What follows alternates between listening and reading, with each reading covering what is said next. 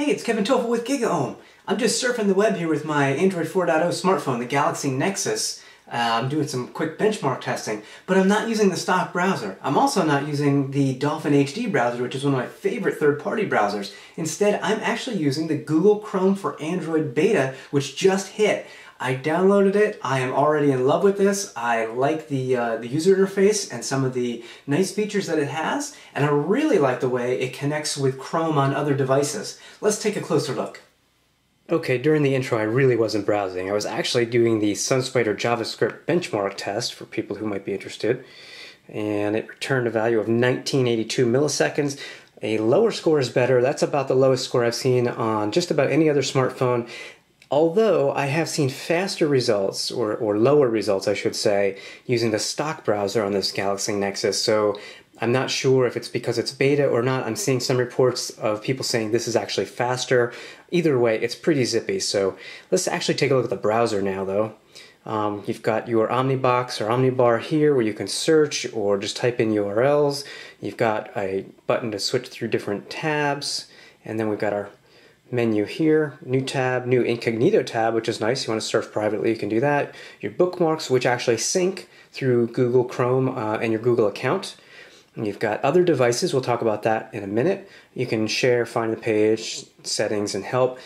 You'll see I'm signed into Chrome here. I've got Google as the search engine. Bandwidth management is nice. You can actually have the browser preload web pages uh, just on Wi-Fi or always or never. That's helpful if you're on 3G. And you can autofill forms, save passwords, and so on. And then you've got your regular typical settings. So let's go back here. And I'll actually open up another tab here. I'll say new tab. I'll say Giga oh, I already have that in my search history. Obviously, let's see. It's not opening up the mobile page because I browsed the to the desktop page earlier, but there you go. It has rendered the full page.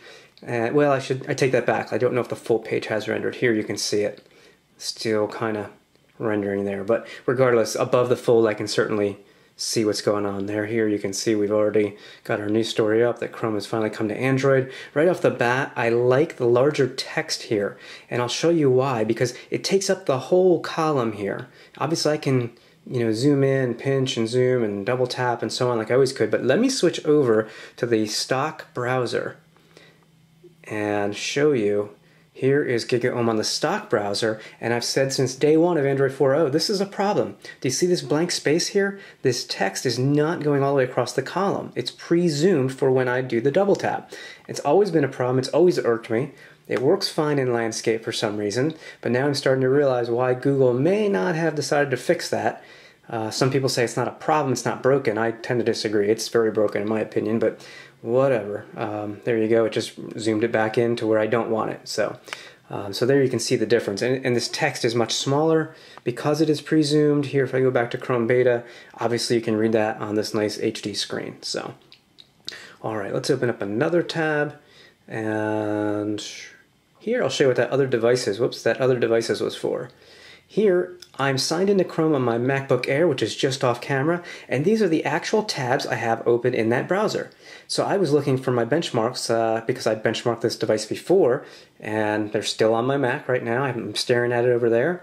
I tap it here, and now the page I was browsing on my Mac is now being browsed right here on my smartphone, just like that, which is awesome. It's kind of like the Chrome to phone uh, extension where you could send websites and so on to a phone from a desktop.